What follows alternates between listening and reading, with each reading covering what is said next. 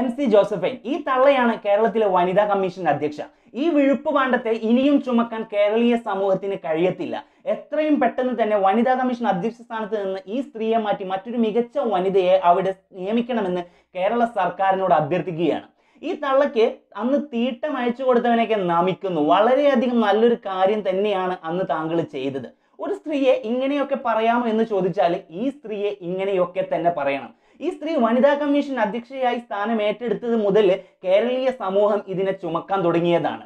ഒരു കുറച്ച് ക്ഷമ അല്ലെങ്കിൽ കുറച്ച് വിവേകത്തോടു കൂടിയുള്ള പെരുമാറ്റം കാരുണ്യം സഹാനുഭൂതി ഇങ്ങനെ യാതൊന്നും തൊട്ട് തീണ്ടിയിട്ടില്ലാത്ത ഒരു വ്യക്തിത്വമാണ് കേരളത്തിന്റെ വനിതാ കമ്മീഷൻ അധ്യക്ഷയായിട്ട് ഇരിക്കുന്നത് മുൻപ് വാളയാർ കേസിൽ അതുപോലെ തന്നെ P K Sasi M L എക്കെതിരെയുള്ള പീഡന കേസുകളിലെല്ലാം അത് ഞങ്ങൾ അറിഞ്ഞിട്ടില്ല എന്ന് പറഞ്ഞ് കഴിയൊഴിഞ്ഞ ടീമാണ്. പല കേസുകളിലും ഇവരെടുത്ത തീരുമാനം അതുപോലെ തന്നെ ഇവർ പത്രക്കാരോട് പറയുന്ന കാര്യങ്ങൾ ഇവരുടെ പെരുമാറ്റം ഒന്നും ആ ഒരു സ്ഥാനത്തിരിക്കുന്ന വ്യക്തിക്ക് ചേർന്നതല്ല.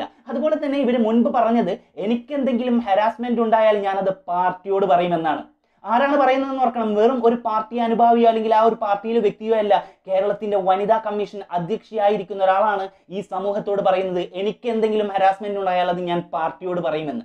ഇത്രയ്ക്ക് വിവരമില്ലാത്ത ഇവരെ ഇനിയും സഹിക്കാൻ ഈ കേരളീയ സമൂഹത്തിന് കഴിയത്തില്ല. ഇപ്പോൾ ഇവരെ കുറിച്ച് പറയാനുണ്ടായ ഏറ്റവും അവസാനത്തെ കാരണം കേരളീയ സമൂഹം അടക്കം മുഴുവൻ ആളുകളും കൃത്യമായി പ്രതിഷേധിച്ചുകൊണ്ട് രംഗത്ത് വന്നൊരു കാരണം. അത് കൃത്യമായ കാതുകളിലേക്ക് കൂടി എത്തിച്ചാൽ ഇവരെ ആ ഒരു സ്ഥാനത്ത് നിന്ന് മാറ്റാൻ നമുക്ക് കഴിയും. ആ ഒരു പരിപാടി മനോരമ ന്യൂസ് സംഘടിപ്പിച്ച ഒരു പരിപാടിയായിരുന്നു. അതായത് സ്ത്രീധന ഗാർഹിക പീഡനങ്ങൾക്കെതിരെ എന്തിനു നാം സഹിക്കണം എന്ന ആ ഒരു പരിപാടിയിൽ ഇവർ പങ്കെടുത്തുകൊണ്ട് സംസാരിച്ചു അതായത് ആരെങ്കിലും ഇത്തരം ഗാർഹിക പീഡന സ്ത്രീധന പീഡനങ്ങൾ അനുഭവിക്കുന്നുണ്ടെങ്കിൽ അവർ പരാതി പറയാൻ വിളിക്കുമ്പോൾ ആ ഒരു പരാതി കേട്ടുകൊണ്ട് അപ്പോൾ തന്നെ നടപടി എടുക്കാനായിട്ട് ഇവർ വന്നിരുന്ന. അല്ലെങ്കിൽ മനോരമ ന്യൂസ് സംഘടിപ്പിച്ച ഒരു പരിപാടിയിൽ ഇവരൊരു സ്ത്രീയോട് സംസാരിച്ച ആ ഒരു രീതി. നിങ്ങൾ അതൊന്ന് കണ്ടു നോക്ക്.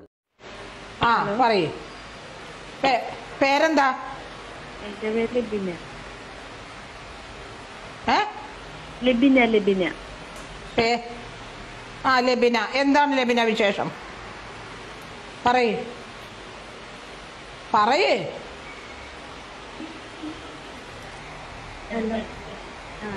രണ്ടായിരത്തി പതിനാലാണ് എന്റെ കല്യാണം കഴിഞ്ഞത്?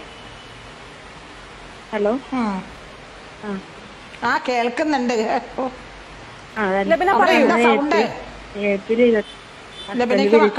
ഫോൺ തരില്ല. ഞാനിവിടെ ഇല്ല. അങ്ങനെ ഇല്ലായ്മ എല്ലാം പറഞ്ഞു ഏ, ഇത് എവിടെയാണ്? എറണാകുളത്ത് എവിടെയാ വീട്? എന്തോ? ഇതെന്താ ഇങ്ങനെ സൗണ്ട് ഉണ്ടാക്കുന്നത്? ഒന്നും മനസ്സിലാവുന്നില്ല. എറണാകുളത്ത്? നിങ്ങൾ പറഞ്ഞ എനിക്ക് മനസ്സിലാവുന്നില്ല. അവിടെ എന്താ ശബ നിങ്ങൾക്ക് കുട്ടികളുണ്ടാ? പിന്നെ കുട്ടികളുണ്ടോ? കുട്ടികളുണ്ടോ? ഇല്ല ഇല്ല ഇല്ല ഇല്ല. കുട്ടി ആ. നിങ്ങളുടെ ഭർത്താവ് നിങ്ങളെ ഉപദ്രവിക്കാറുണ്ടോ? ആ ഉണ്ട്. അമ്മായിയമ്മ? അമ്മായമ്മയും ഹസ്ബൻഡും കൂടി അപ്പൊ നിങ്ങൾ അപ്പൊ അല്ല അല്ല അപ്പൊ നിങ്ങൾ എന്തുകൊണ്ട് നിയമം പോലീസിൽ അറിയിച്ചില്ല? ഞാൻ അതേ അറിയിച്ചില്ലായിരുന്നു. ആ എന്നാ പിന്നെ അനുഭവിച്ചോട്ടോ. ഇങ്ങനെയാണോ സംസാരിക്കേണ്ടത്? ആ ഒരു സ്ത്രീ എത്രമാത്രം മാനസിക സംഘർഷങ്ങൾ അനുഭവിച്ചതിന് ശേഷമായിരിക്കും ഇവർക്കൊന്ന് ഫോൺ വിളിച്ചിട്ടുണ്ടായിരിക്കും എന്ന് ഇവർക്കൊന്ന് ചിന്തിച്ചുകൂടെ? ചിലപ്പോൾ ഭർത്താവും അല്ലെങ്കിൽ അവരുടെ അമ്മയും ഒന്നും അറിയാതെ എങ്ങനെയെങ്കിലും ഒക്കെ എവിടുന്നെങ്കിലും ഒക്കെ എന്തെങ്കിലുമൊക്കെ ഒപ്പിച്ചിട്ടായിരിക്കും വിളിച്ചിട്ടുണ്ടായിരിക്കുക. കേരളീയ സമൂഹം ഇതിനെക്കുറിച്ച് ചർച്ച ചെയ്യാൻ തുടങ്ങിയത് തന്നെ ആ വിസ്മയ എന്ന പെൺകുട്ടിയുടെ മരണത്തിന് ശേഷം അല്ലെങ്കിൽ നമ്മുടെ സമൂഹത്തിന് ഒരു കാര്യമുണ്ട്. അല്ലെങ്കിൽ ഒരു സ്വഭാവമുണ്ട്. ആരെങ്കിലും മരിച്ചാലാണ് ആ ഒരു കാര്യത്തെക്കുറിച്ച് നമ്മൾ കൃത്യമായി മനസ്സിലാക്കുകയുള്ളൂ പ്രതികരിക്കുകയുള്ളൂ അതിനെക്കുറിച്ച് പഠിക്കുകയുള്ളൂ. അതവിടെ നിൽക്കട്ടെ. ഇവർക്ക് വിളിച്ച ആ ഒരു സ്ത്രീയുടെ മനോഭാവം എന്താണെന്ന് മനസ്സിലാക്കാതെ എത്രമാത്രം കഷ്ടപ്പെട്ടിട്ടായിരിക്കും? അല്ലെങ്കിൽ ഒരു പ്രതീക്ഷയോടെ ആയിരിക്കും ഇവരെ വിളിച്ചിട്ടുണ്ടായിരിക്കുക. തനിക്കൊരു തനിക്ക് നീതി ലഭിക്കും. അല്ലെങ്കിൽ വനിതാ കമ്മീഷൻ അധ്യക്ഷയല്ല അവരോട് നേരിട്ട് പറയാം. ആ നേരിട്ട് പറഞ്ഞപ്പോൾ ഇവർ കാട്ടിയത് എന്താണ്? ഇവർക്ക് ഒട്ടും താല്പര്യമില്ലാതെയാണ് അവിടെ വന്നിരുന്നതെന്ന് തോന്നുന്നു. ഈ ഒരു പദവിയോട് തന്നെ ഇവർക്ക് താല്പര്യമില്ലെന്ന് തോന്നുന്നു. ഇങ്ങനെ താല്പര്യമില്ലെങ്കിൽ ഒഴിഞ്ഞു പോകണം മേഡം. കാരണം ആ ഒരു പദവിക്ക് അത്രമാത്രം പ്രാധാന്യമുണ്ട്. അത്രമാത്രം പ്രശ്നങ്ങളിൽ ഉള്ളവരാണ് നിങ്ങളെ വിളിക്കുന്നത്. അവർക്ക് നിങ്ങളുടെ ചെറുതായിട്ട് നിങ്ങൾ അവരോടൊന്ന് നല്ല മയത്തിലൊന്ന് സംസാരിച്ചാൽ മതി. കാരുണ്യത്തോട് കൂടിയിട്ടൊന്ന് സംസാരിച്ചാൽ മതി. അത് തന്നെ അവർക്ക് വളരെയധികം റിലാക്സ് നൽകും എന്നുള്ളത് ഒരു സത്യമാണ്. അവർക്ക് അത് മാത്രമാണ് ചിലപ്പോൾ നിങ്ങളിൽ നിന്ന് വേണ്ടത് ഉണ്ടായിരിക്കുള്ളൂ. അവിടെയാണ് നിങ്ങൾ വല്ല കുറ്റവാളികളോട് അല്ലെങ്കിൽ നിങ്ങൾ ഒട്ടും താല്പര്യമില്ലാതെ അവരോട് സംസാരിക്കുന്നത്. ഇപ്പോൾ ഇവർക്ക് വിളിച്ച സ്ത്രീ തന്നെ വിചാരിച്ചിട്ടുണ്ടായിരിക്കും ഇവരോട് സംസാരിക്കുന്നതിനേക്കാൾ നല്ലത് അല്ലെങ്കിൽ ഇവരുടെ വായിലിരിക്കുന്നത് കേൾക്കുന്നതിനേക്കാൾ നല്ലത് ഭർത്താവിന്റെയും അല്ലെങ്കിൽ അമ്മായിമ്മയുടെയും വായിലിരിക്കുന്നത് കേൾക്കുന്നതാണെന്ന്. കേവലം ഒരു തമാശയായിട്ട് നമ്മൾ തള്ളിക്കളയേണ്ട ഒന്നല്ല അത്.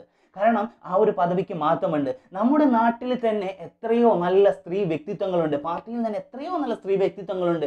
അവരെ ആരെങ്കിലും ആ ഒരു സ്ഥാനത്തേക്ക് നിയമിക്കണം. കൃത്യമായിട്ട് ആ ഒരു പദവിയെക്കുറിച്ച് അറിയുന്ന ഇടപെടാൻ കഴിയുന്ന സ്ത്രീകൾക്ക് തങ്ങൾ വിളിച്ചാൽ തങ്ങൾക്ക് നിയമം അല്ലെങ്കിൽ തങ്ങൾക്ക് നീതി ലഭിക്കും അല്ലെങ്കിൽ അവരിൽ നിന്ന് നീതി ലഭിക്കും എന്ന് തോന്നുന്ന ഒരാളെ ആ ഒരു സ്ഥാനത്തേക്ക് നിയമിക്കണം. ഇനിയും അത് വെച്ച് താമസിപ്പിച്ചുകൂടാ. എം സി ജോസഫൈനെ ആ ഒരു പദവിയിൽ നിന്ന് വനിതാ കമ്മീഷൻ അധ്യക്ഷ സ്ഥാനത്ത് നിന്ന് നീക്കണം.